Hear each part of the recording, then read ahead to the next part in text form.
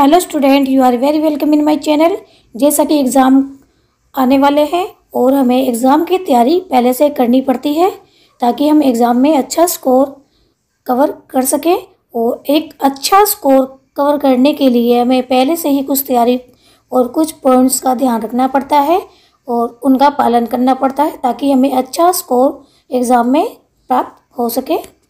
इस वीडियो के माध्यम से आप कुछ ऐसे दस पॉइंट्स के बारे में हम जानेंगे जो एग्ज़ाम की तैयारी के लिए अति महत्वपूर्ण है। चलिए जानते हैं एक एक करके सभी पॉइंट्स के बारे में। सबसे पहला पॉइंट हमारा आता है प्लान जैसा कि हमें किसी भी कार्य को करने के लिए एक प्लान का होना अति आवश्यक होता है। यदि हम प्लान बनाकर नहीं चलते तो उस काम में कुछ ना कुछ त्रुटियाँ, कुछ कमियाँ निकल के आ ही जाती है। तो अतः किसी भी काम को करने के लिए एक प्लान का होना बहुत ही ज़रूरी है। तो एग्ज़ाम के लिए भी हमें इसी प्रकार का एक प्लान डिसाइड करके चलना है। पॉइंट नंबर सेकंड पे आता है हमारा। टाइम मैनेजमेंट किसी भी एग्ज़ाम को क्लियर करने के लिए एक टाइम मैनेजमेंट का अच्छे से पालन करना बहुत ज़रूरी होता है। यदि हम टाइम मैनेजमेंट करके चलते हैं तो हमें किसी भी सब्जेक्ट को हम क्लियर करने में हमें कोई दिक्कत नहीं होती है। कहा जाता है कि समय की ही कीमत होती है। यदि एक बार समय निकल जाए तो उसके बाद किसी भी चीज़ की कोई वैल्यू नहीं रह जाती। तो समय रहते अपने एग्ज़ाम की तैयारी करने के लिए एक टाइम मैनेजमेंट करके चलिए ताकि एग्ज़ाम के समय आपके ऊपर ज़्यादा प्रेशर ना बने।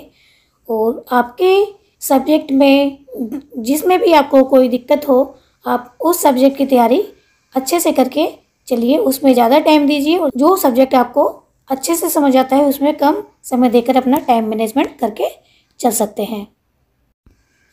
पॉइंट नंबर थ्री आता है हमारा हैंड राइटिंग जैसा कि एग्ज़ाम के समय यदि हम थोड़ा अच्छा और अट्रैक्टिव करके एग्ज़ाम को लिखते हैं तो पेपर को लिखते हैं तो आप एग्ज़ाम में जो एग्ज़ामिनर होते हैं चेकर जो होते हैं वो आपकी राइटिंग से इम्प्रेस होके भी अच्छे मार्क्स आपको दे देते हैं। तो एक अच्छी राइटिंग होना बहुत ज़रूरी है अच्छा मार्क्स प्राप्त करने के लिए। और कोशिश कीजिएगा कि एग्ज़ाम के समय आपसे ज़्यादा गलतियाँ ना हो। सुंदर लिखिए, साफ़ लिखिए और इम्प्रेसिव लिखिए कि एग्ज़ामिनर जो एग्ज़ाम आपका चेक करेगा, वो आपकी हैंड राइटिंग से और साफ़ सफ़ाई से प्रभावित होकर भी आपको अच्छे नंबर दे सके। तो कोशिश कीजिए, सुंदर लिखिए साफ़ लिखिए पॉइंट नंबर फोर आता है हमारा नोट्स मेकिंग यानी कि जिस भी सब्जेक्ट का आपका एग्ज़ाम होना है, उन हर सब्जेक्ट सब्जेक्ट के आपको नोट्स बनाने चाहिए, ताकि आपको एग्ज़ाम के समय आपको एक ही जगह पे सब चीज़ का सॉल्यूशन मिल जाए। एक ही नोट्स के अंदर आपको सारे पॉइंट्स मिल जाए और आपको इजी रहे समझने के लिए आपको कई बुकों की ज़रूरत ना पड़े और आपका टाइम भी इसमें बचेगा और आपको अच्छे से समझ आएगा। नोट्स यदि आपके खुद के बने हो, खुद के हाथ के लिखे हुए हों तो ये काफ़ी अच्छा रहेगा आपके एग्ज़ाम के लिए। क्योंकि यदि आप खुद के नोट्स बनाते हैं तो आप उसके लिए तरह तरह की बुकें आप लेकर उसमें से देखते हैं, किसमें अच्छे से लिखा है, उस आधार पर आप अपने नोट्स बनाते हैं तो आपको पहले ही आधा समझ आ चुका होता है। तो एग्ज़ाम पर्पज़ से काफ़ी अच्छा रहता है, आपको ज़्यादा मेहनत नहीं करनी पड़ती। आधी प्रिपरेशन आपकी पहले ही हो चुकी होती है।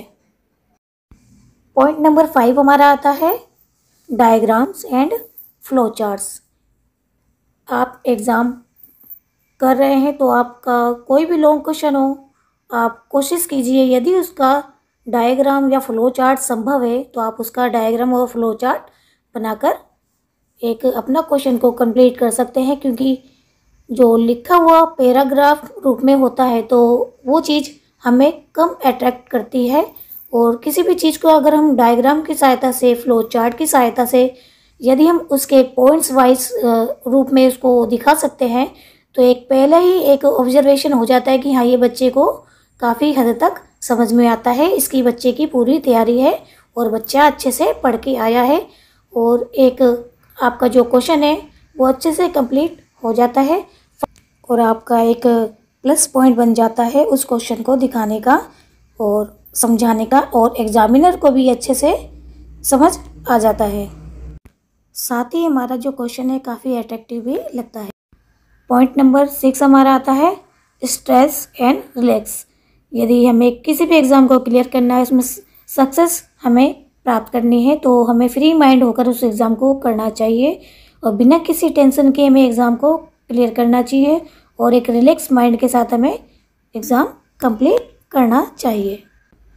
पॉइंट नंबर सेवन हमारा है बिलीव इन योर सेल्फ अपने आप पर आत्मविश्वास होना बहुत ज़रूरी होता है। एक आत्मविश्वास आपको सफलता दिलाने के लिए एक मूल मंत्र साबित होता है। तो अपना विश्वास बनाए रखें अपने ऊपर विश्वास को बनाए रखें और किसी भी काम को करने के लिए आप ये ना सोचें कि ये काम मैं नहीं कर सकता या नहीं कर सकती।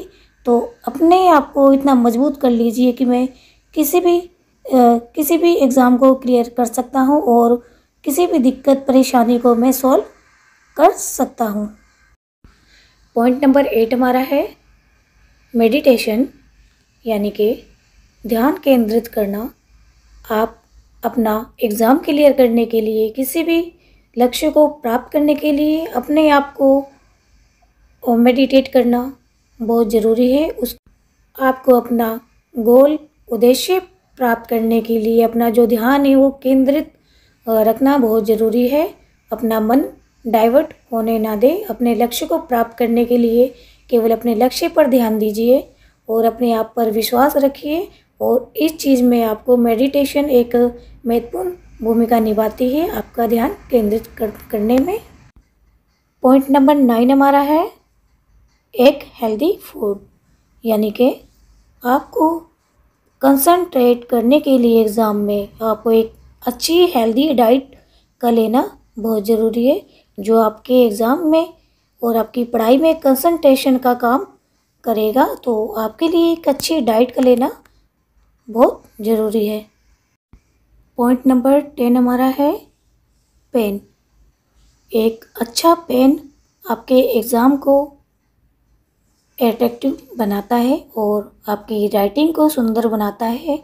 तो आप अपने एग्ज़ाम के अकॉर्डिंग कि आपके एग्ज़ाम में कौन सा पेन अलाउ करते हैं कौन सा नहीं करते, आप उसके अकॉर्डिंग आप अपना पेन डिसाइड कीजिए। आई होप कि आपको एग्ज़ाम से रिलेटेड ये वीडियो काफ़ी पसंद आई होगी तो वीडियो को लाइक कीजिएगा और चैनल को सब्सक्राइब ज़रूर कीजिए।